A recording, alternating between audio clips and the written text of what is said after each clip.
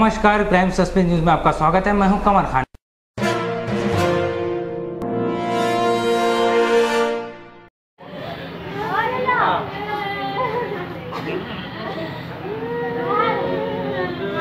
आप दीजिए सच का साथ, जुड़िए हमारे साथ, रखिए अपनी पैनी नज़र। हम हैं क्राइम सस्पेंस नमस्कार।